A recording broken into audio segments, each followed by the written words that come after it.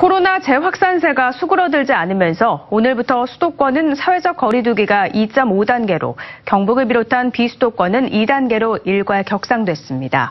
강화된 거리두기는 오는 28일까지 3주 동안 적용됩니다.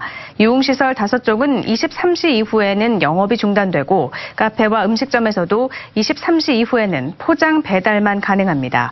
경북에서는 최근 일주일간 지역사회 감염이 67명 발생했고 일일 평균 9.6명 명의 발생률을 보였습니다.